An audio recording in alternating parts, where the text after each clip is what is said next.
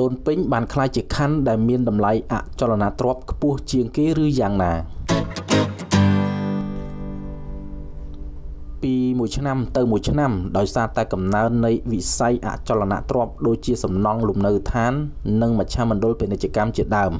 បានជំរុញឲ្យតម្លៃដីមានកំណើនខ្ពស់ជាពិសេសនៅក្នុងខណ្ឌដូនពេញ ត្រូវបានអ្នកជំនាញបញ្ជាក់ប្រាប់ថាមានកម្រិតខ្ពស់ជាងគេបើប្រៀបធៀបជាមួយបណ្ដាខណ្ឌមួយចំនួនដែលស្ថិតនៅជាប់គ្នាប្រធានសមាគមអ្នកវាតម្លៃនិងភ្នាក់ងារអចលនវត្ថុកម្ពុជា លោកជ្រឹងសុកនីមបានមានប្រសាសន៍ឲ្យដឹងកាលពីថ្ងៃទី7ខែមេសាកន្លងមកថា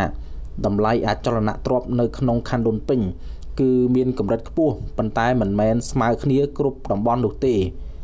ដែលវាក៏អាស្រ័យទៅលើទីតាំងពាណិជ្ជកម្មពិសេសទំហំនិងស្ថានភាពផ្លូវផងដែរលោកថាចំពោះតម្លៃដីដែលស្ថិតនៅតាមបណ្ដោយផ្លូវនិងមហាវិថីសំខាន់សំខាន់ក្នុងរាជធានីភ្នំពេញគឺមានតម្លៃខុសៗពីគ្នាហើយក៏មិនសូវមានការទិញលក់យ៉ាងកក្រឹកកក្រែងដោយដីនៅតំបន់ផ្សេងផ្សេងទៀតនោះដែររហូតត្រូវបានអ្នកជំនាញលើវិស័យមួយនេះចាត់ទុកថាជាតំបន់ដីកម្រ ជាក់ស្ដែងដូចជាតាមបណ្ដោយផ្លូវព្រះមនីវង្សដោយរាប់គិតត្រឹមតែពីម្ដុំផ្សារថ្មី មកដល់តំបន់ពេទ្យចិន អាចមានតម្លៃចន្លោះពី5000ទៅ6000ដុល្លារក្នុង1ម៉ែត្រការ៉េហើយប្រសិនបើនៅកាន់តែគៀកនឹងតំបន់ផ្សារធំថ្មីឬជុំវិញផ្សារថ្មីកាន់តែមានតម្លៃថ្លៃជាងនេះទៅទៀតដោយឡែកសម្រាប់ដីនៅក្នុងខណ្ឌដូនពេញរួមគ្នាប៉ុន្តែស្ថិតនៅតាមបណ្ដោយផ្លូវព្រះនរោត្តមវិញត្រូវបានលោក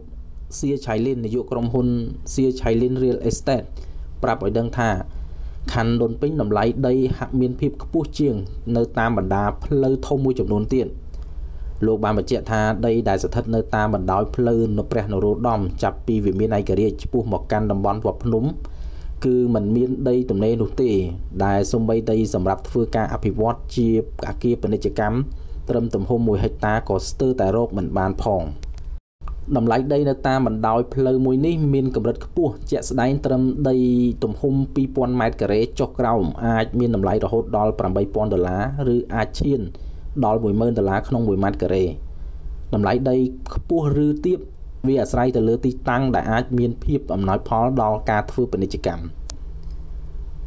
ចំណែកលោកសនសៀបនាយកក្រុមហ៊ុន Key Real Estate ក៏បានប្រាប់ឲ្យដឹងផងដែរថាចំពោះដីដែលស្ថិតនៅតាមរុក្ខវិថីក្រមួនសដែលជាតំបន់ប្រមូលផ្ដុំដោយស្ថាប័នធនាគារឯកទេសធនាគារពាណិជ្ជក៏ដូចជាស្ថាប័នមីក្រូហិរញ្ញវត្ថុជាដើមលោកបន្តថា